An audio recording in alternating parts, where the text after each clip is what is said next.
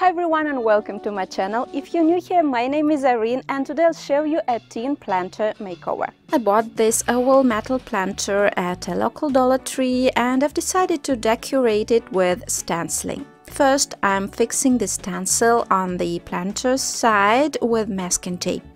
Then I'm applying a thin layer of acrylic wood filler on the stencil with a palette knife.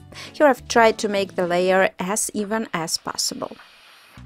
By the way, this stencil is from AliExpress. I'll leave the link for similar options in the description box as usual.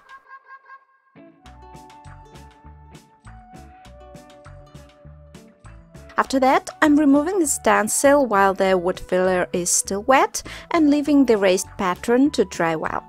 After drying, I'm sanding the stenciling slightly to remove sharp edges if any, and then I'm priming the entire planter with a bonding primer.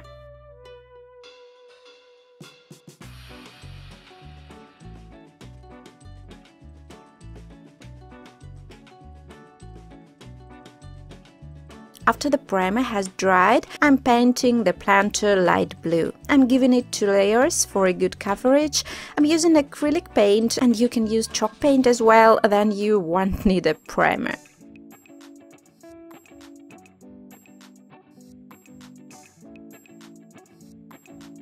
Next, I'm painting the upper edge of the planter black using a sponge, imitating the edging on enamel coating. I'm also making several black spots on the bottom as if the enamel has peeled off here.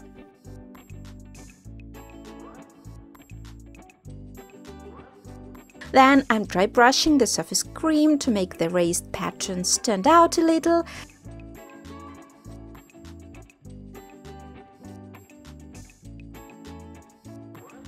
And finally I'm sealing the planter with clear wax.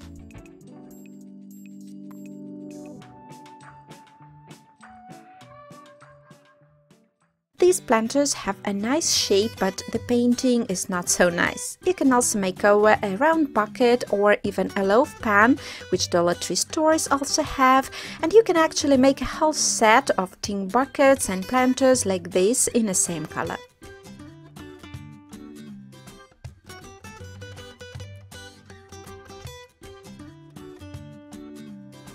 Well, I hope you liked this makeover. Actually, you can make over any vase or tin can planter like this. Thanks for being here and we'll see you in my next video. Bye!